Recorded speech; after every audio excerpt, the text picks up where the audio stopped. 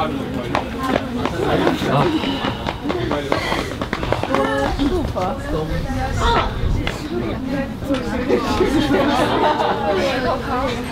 cold, huh? I know that story. Stone soup. All right, folks. We'll try to get through this quickly. Okay. All right. I thought it was warmer out here, but it's my Canadian blood. Hey. Today we're gonna read. Well, I'm gonna read the story Stone Soup by Jon J. Muth. Huh? Right, Kyle? Jon J. Muth. Tangi. Stone Soup. Three monks, Hok, Lok, and Siew, traveled along a mountain road. They talked about cat whiskers, the color of the sun, and giving. What makes one happy, Siew? asked Hok, the youngest monk. Old Siew was the wisest, said, Let's find out. What are these, Thomas? The Great Wall. Okay, sure, but what are these? Uh, they are monks. Those are three monks. Yes. What is a monk in Chinese? Uh, Very good, very good. The sound of a bell brought their gaze to the rooftops of a village below. Shh. They could not see from so high above that the village had been through so many hard times. Famine, floods, and war had made the villagers wary and untrusting of strangers. They had even become suspicious of their neighbors.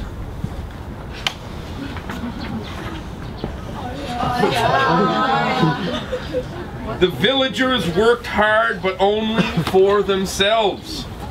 There was a farmer, a tea merchant, a scholar, a seamstress, a doctor, a carpenter, and many others.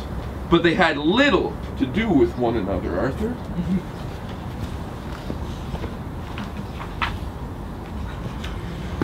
When the monks reached the foot of the mountain, the villagers disappeared into their houses. No one came to the gates to open them. How would that make you feel, Thomas? Uh, 呃，disappoint。Disappointed if nobody wanted to see you, hey? Yeah. Yeah. And when the people saw them enter the village, they closed their windows tight.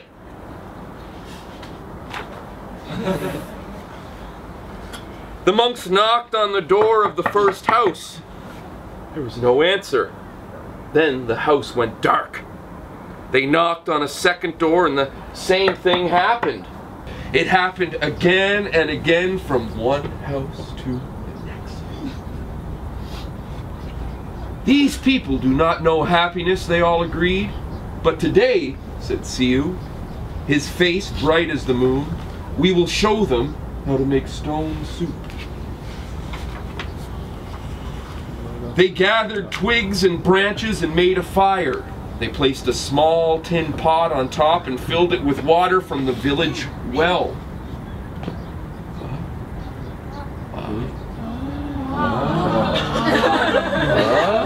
The village well. A brave little girl who had been watching came to them. What are you doing? She asked. We are gathering twigs, said Lok. We are making a fire, said Hok. We are making stone soup, and we need three round, smooth stones, said Siew. Three round, smooth stones, Frank.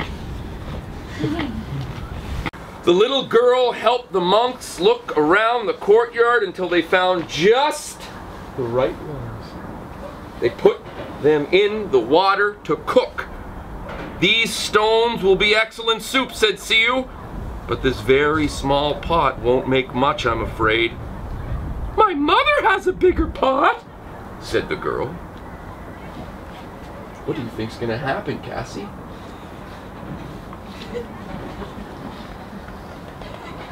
Let's find out. All right. The little girl ran home.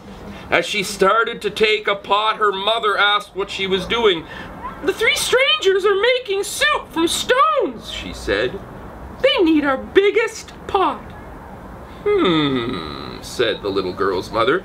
Stones are easy to come by, and I'd like to learn how to do that. The monks poked the coals as smoke drifted up. The neighbors peered out from their windows. The fire and the large pot in the middle of the village was a true curiosity. One by one, the people of the village came out to see just what this stone soup was about. Hmm.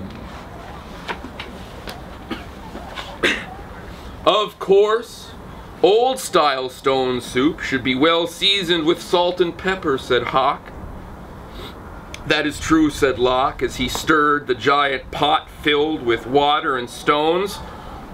But we have none. I have some salt and pepper, said the scholar, his eyes big with curiosity. He disappeared and came back with salt and pepper and even a few other spices. Siew took a taste. The last time we had stone soup of this size and color, carrots. Carrots made the broth much sweeter. Carrots? said a woman from the back. I may have a few carrots, but just a few. And off she ran. She returned with as many carrots as she could carry and dropped them into the soup.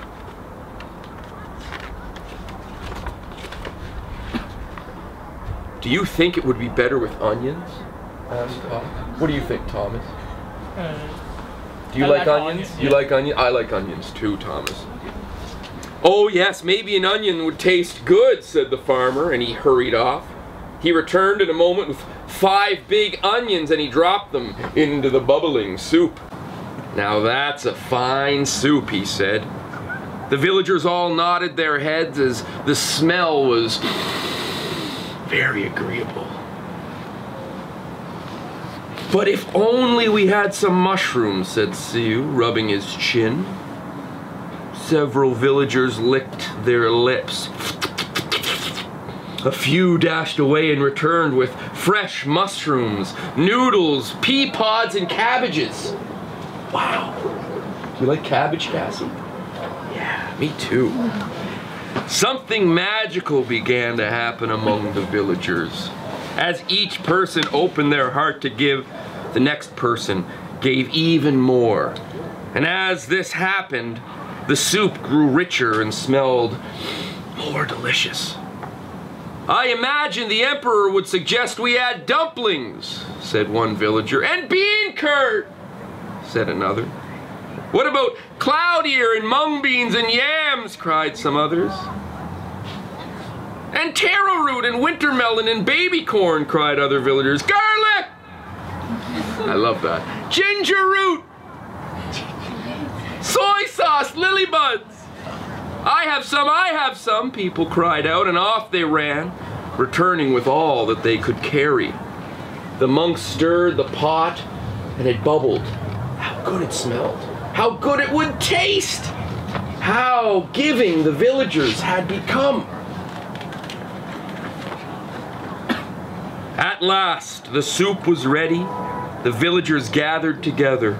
They brought rice and steamed buns. They brought lychee nuts and sweet cakes. They brought tea and drink, and they lit lanterns. Everyone sat down to eat. They had not been together for a feast like this for as long as anyone could remember. After the banquet, they told stories, sang songs, and celebrated long into the night. Then they unlocked their doors and they took the monks into their homes and gave them very comfortable places to sleep. What? In the gentle spring morning, everyone gathered together near the willows to say farewell.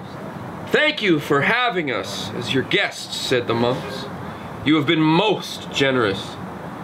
Thank you, said the villagers. With their gifts you have given, we will always have plenty. You have shown us that sharing makes us all richer. And to think, said the monks, to be happy is as simple as making stone soup. The end.